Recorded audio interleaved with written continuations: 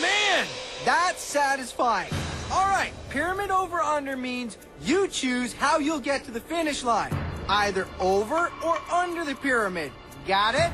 Ready, set.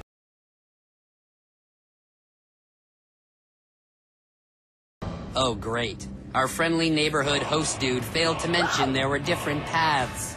Hey, Sierra, which way do you think we should go? Me?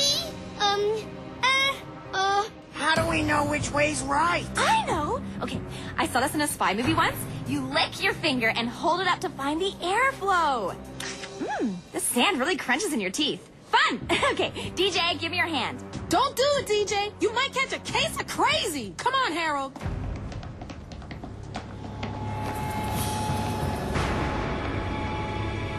Oh, oh, oh, let's take the scary mummy door.